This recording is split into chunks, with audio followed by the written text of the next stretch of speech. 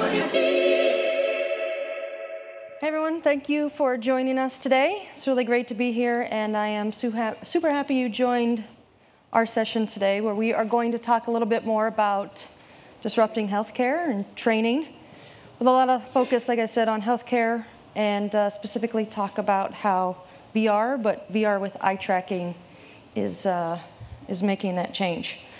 Um, and Robert is also going to talk a little bit after I give an introduction.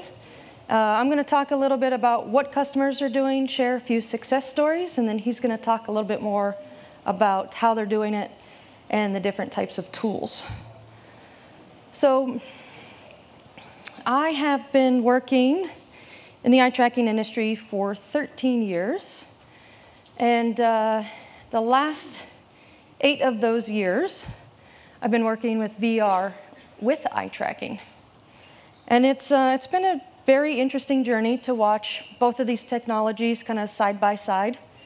The way VR has been growing and changing the last few decades, moving from research labs and only being used in government and military situations and researchers. Eye tracking had the same story, so kind of started out several a couple decades ago, mostly in research. Um, but now, the last few years, like I said, eight, it's been eight, uh, nine, ten, something like that. Um, the first commercially available headset with both eye tracking and VR is available. And as you can imagine, those eight years, it has also grown quite a bit. And so now we're at the point where the convergence of the technology, the eye tracking with the VR, is um, to the point where it's really able to make quite a difference, uh, not just for gaming and fun and applications. Actually, I really apologize. I should ask now that we have some more people in the room. How many people are familiar with eye tracking? Okay, good, good, good. I just wanted to make sure before we got to, because we're kind of jumping right in. Uh, very quickly, for those that aren't familiar with eye tracking, it's a sensor technology a lot of VR OEMs embed into the devices, uh, mostly because it helps improve the performance of the device, but also helps uh, improve the experience for the user. Um, so anyway, stepping back into what I was saying, um, so now the convergence of the technology, the advancements have really allowed to open up the doors, especially in healthcare, for so many new amazing use cases. And like I said, I've been in this industry for quite some time now, and I have the opportunity to work with a lot of these fantastic companies that you see here uh, building these different types of tools and devices. So, like I said, I want to share a few of their success stories, but I also am going to share a few observations that I have had along the way. So, if we kind of bounce back to that other slide about how the companies are now able to leverage and harness the power of these two technologies converged and combined um, to redefine what is possible. And if we look at it a little bit deeper, and I could, I could probably talk about all of these different areas uh, for a very long time, uh, but in the interest of time, I'll quickly walk through a few of these and I'll show you a few examples as well. But for instance, we already know that uh, VR is used quite a bit with uh, inpatient care nowadays. It's definitely growing, especially the last few years after the pandemic, finding more and more digital healthcare solutions out there. Um, we also see the expansion in training and simulation, and we see how eye tracking, specifically in VR, is helping improve and understand more about how trainees or people that are going through different training situations actually make decisions, what they attend to, what they look at. So it's enhancing the ability to understand more about the trainee or even experts, people that are going through more training, what they're actually looking at, what they ignore as they perform certain tasks. Um, therapy, rehabilitation, it actually gamifies it a little bit, makes it a little bit more exciting. Um, vision care, I'll talk about that a little bit more and how it's improving uh, actually democratizing vision care a little bit more by being able to have an eye tracking device into a small VR headset. And workplace safety, this is a very interesting one. Actually, we had a presentation earlier today where we talked a little bit more about how you can actually understand more about uh, humans' uh, situation. So, whether or not um, they could be impaired, I guess, uh, uh, under the influence of drug or alcohol. So, that's one type of impairment, but also understanding if there are some types of cognitive or neurological impairments as well. Um, so, if you didn't catch that, I recommend uh, watching the video for that uh, session earlier that was Tobii with uh, our partner Gaize. But if we hop in a little bit more and actually look at a few of those things I just said, so perfect segue. Important uh, that eye tracking is really improving, and a lot of these um, different types of tests they rely on the eye tracking data specifically. Um, so we kind of very briefly talked about how eye tracking can be used as an input tool to improve the device or to improve the user experience. But you can actually output the data as well. So you can output the different types of eye movements, so what direction the eyes are in, if one's skew, what they're actually, if they're converging, if they're looking together. You can also extract data about different eye features, um, blinks, pupil data, which is very interesting when you're trying to understand more about a human's brain. And that's simply because the eye and the brain have this great connection, unlike other parts of the body. And I'm sure maybe you've heard it before. People say the eyes are a window into the brain. And it is very true. So, by being able to measure different types of eye movements, or sometimes more importantly, abnormalities in eye movements, you can actually detect certain types of diseases. So, the eye movements can be a predictor or a biomarker. And this is probably the most fascinating part of what I do, at least for me in my job.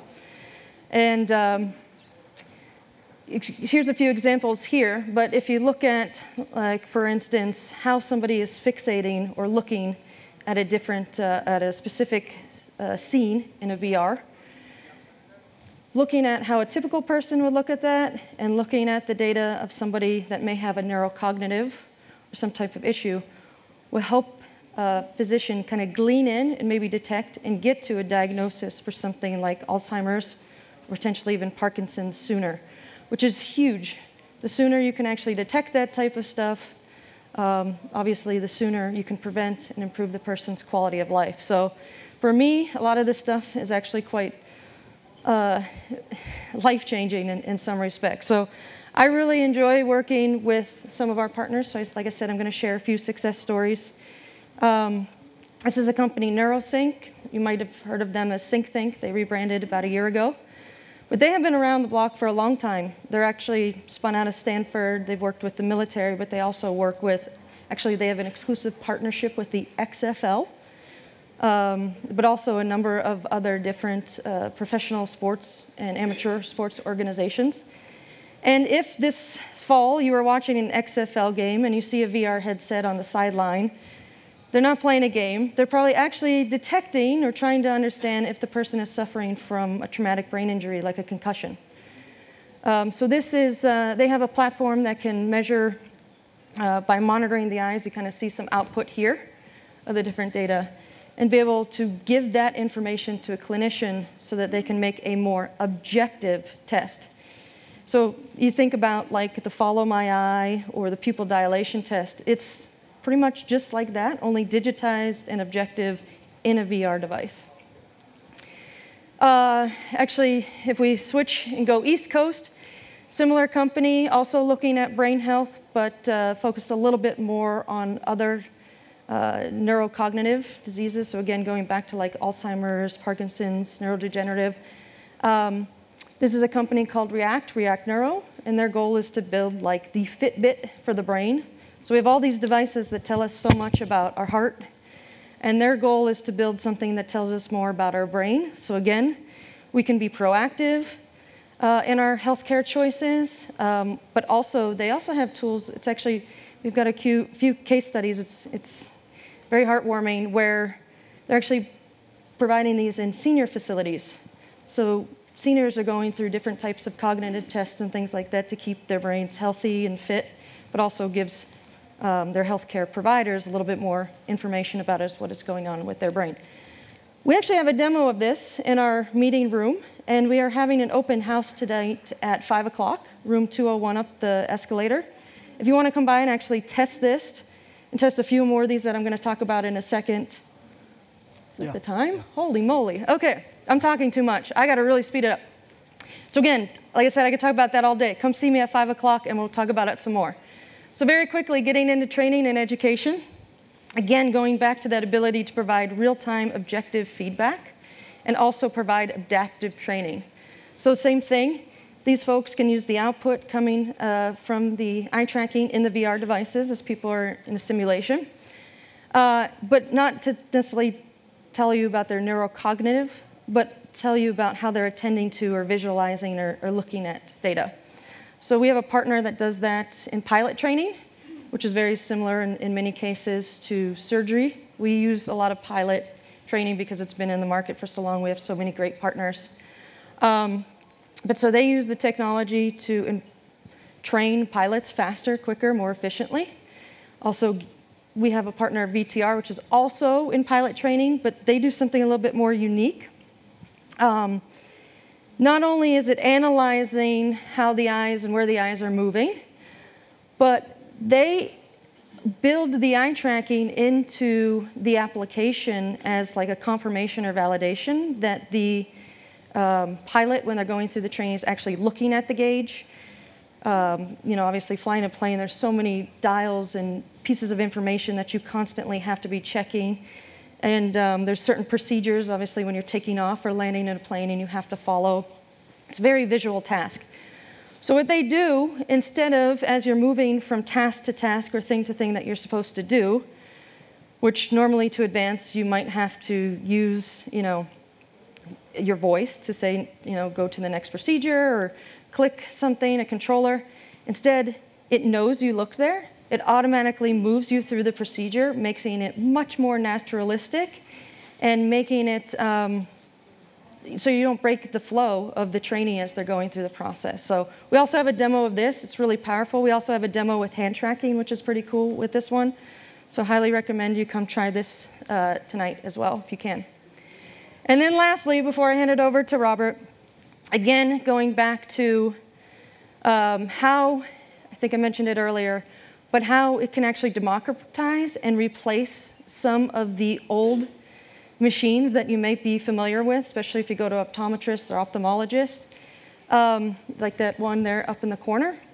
So it's taking these big machines that cost thousands or millions of dollars and very, you know, not only expensive, they take up space, they require very special training to, to even use or understand or turn them on. And in many cases, you can replicate the same tests that you're doing in those big giant machines in a VR headset with eye tracking, which is crazy. So it allows it, obviously, not just affordability, but now you have scalability, you have accessibility. So people that maybe can't come into a clinic, they can uh, you know, you, there, there, are shipping today devices to people's homes where they can do these types of tests. And this is an example right here. We have a great partner, Olleyes, and they have been able to replicate, I think it's 70% or maybe even higher now, might even be higher now, of the tests that you do in those larger ophthalmology devices into a VR headset. And so they're out there now selling these to different clinics. They're working with um, a number of different uh, insurance groups and things like that to help again spread healthcare, make it more accessible to people, even like remote places, things like that. But then also you add the patient monitoring side to things. So you can actually have these in people's homes. Not only can they do treatment and therapy, you can constantly monitor, understand how they're improving their eye conditions. So even if they are coming into the clinic before they get there, you know something more about how they're doing in their condition, which I think is pretty phenomenal. So like I said, this is my this is my life, so I am so happy to talk about these things. Find me later if these things are very interesting to you. I'm happy to connect you with any of these partners. Mm.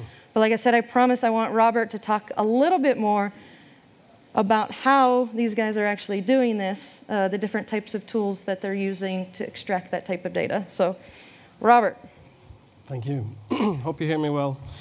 So um, I'm Robert Malmström. I'm the product manager of Tobii Ocumen. Uh, I've been working at Tobii for about seven years.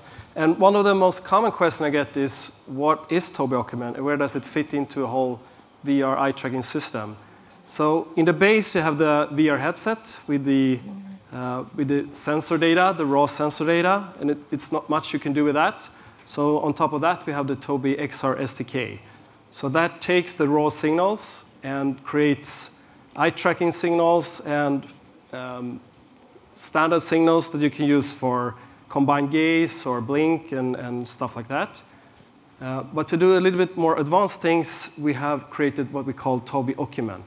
So Tobii Ocumen is a uh, SDK and software tools that takes these signals from the XR SDK, those standard signals, and it adds more advanced signals and also a lot of filters that you can lose, use to get uh, saccades and fixations and stuff like that.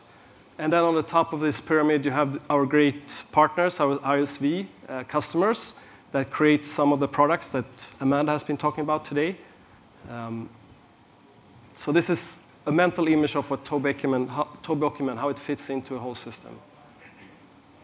And why did we create Ocumen? So back in 2017, when Tobii uh, released our first uh, VR uh, dev kit with eye tracking, uh, we already have the possibility to add these more advanced signals and filters. But there, this was so early with, with VR, uh, eye tracking in VR, so there were basically no demand for these more advanced signals. But we, we could see at Tobii already then that there was some real potential for these to be used in some very important um, functionalities and problems in the future. So that's why we started working on Tobii Ocumen already back then. And also, why do our customers love to work with Tobii Ocumen? So one of the reasons that they love to work with, with Tobii is our uh, well, uh, our proven and well-documented filters that we have. So I would like to talk a little bit about that, how you can find more information on, about Tobii's filters. So you don't have to read all this, but this is an example of one of the filters, one of the saccades filters that we have.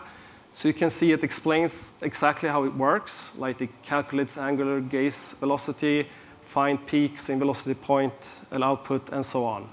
And you can also see some more explanation of how it can be used.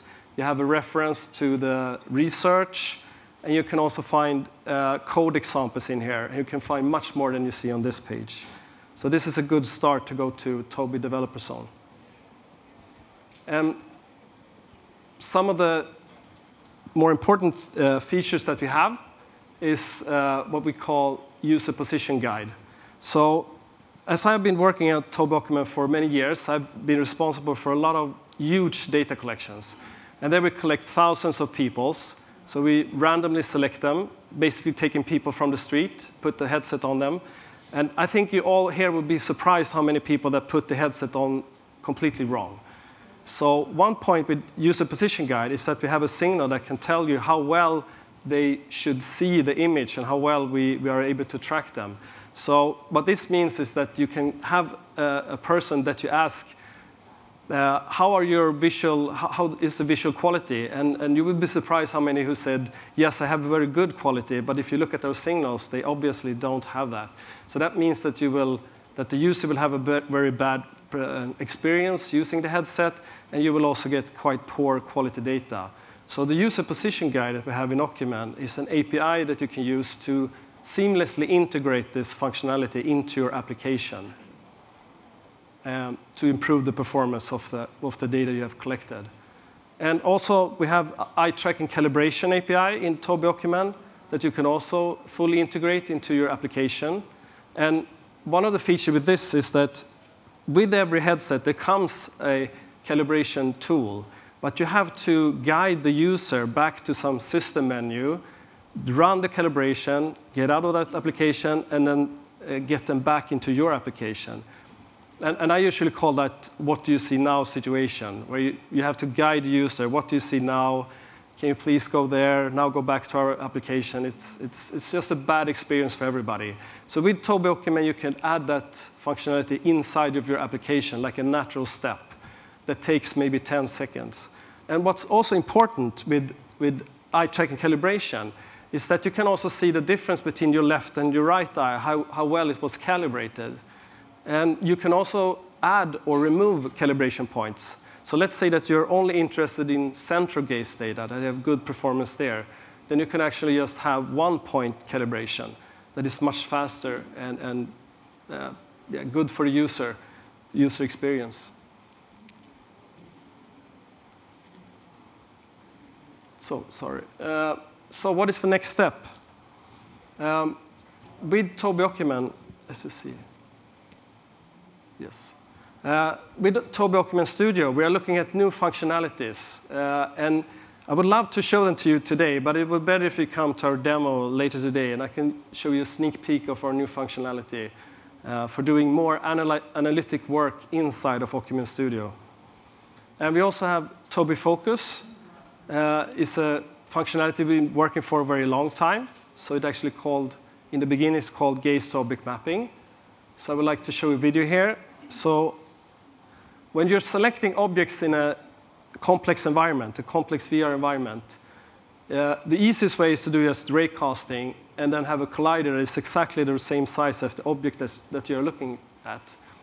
But the problem is that a user that is looking at an object that is maybe changing or moving or some interesting details, you will see that the eye is, is scanning the object. So it's going to be quite hard to know exactly which object you're looking at.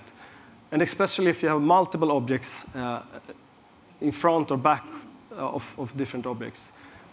And one, one improvement you can do that is that you double the size of the collider that you see, like here. And that makes it easier to see if you're looking at the front object. But if you have multiple objects, they're moving in front of each other, they're uh, in the way, it will be super hard to use this, this technology. So instead, we created this Tobii gaze object mapping uh, functionality. That is a machine learning uh, layer that we put on top of uh, combined gaze. And we have trained it on a lot of data on people looking at different objects. So we can predict which of these objects in this environment that you're looking at. So if you would like to see a demo of this personally, if you want to run it, you can come to, to our open house after this. Yes. So here are contacts, and you also have the time and the room for uh, where we have this open house. We will have some refreshments. You will, could network, talk to all our teams that are here. So I'd really love to see you there in room 201 second floor at 5 o'clock. So now we have actually some time for questions. Feel free to come up to the mic. Thank you very much for the nice talk. Uh, full disclosure, I came from vision industry before joining ARVR. Uh, I wanted to ask you, you mentioned a number of different applications where eye tracking can be used, especially in the vision care. Do you know, to the best of your knowledge, has there ever, ever been any uh, instrument which is FDA cleared, which uses your, uh, uh, uh, your hardware? Yes, there are several. So the NeuroSync one that I showed, for instance, that is an FDA cleared uh, their suite, I guess, of their different applications that is FDA cleared. So is that based on VR? Uh, that is a VR based, yeah. Or have you ever tried uh, uh, promoting your uh, your solution as a hardware solution, not just on the VR, but on actual medical devices, eye care devices? Um, uh, the reason I'm asking because you also showed one of the devices, which is uh, Humphrey Field Analyzer. Yes, yes. Uh, so that uses eye tracking. Yes. Uh, so have you ever tried comparing your results with the standard uh, medical hardware? We personally don't, uh, but all of our partners that are that are actually building the applications, the applications developers that are then the ISVs that are taking it out, yes, they have a slew of research that compares their results to some of the standard equipment that is out there today. I'd be happy to point you in the right direction where you can find some of that if that's okay. something you're interested in. Thank you very much. Yeah, thank you. Thank you for your questions.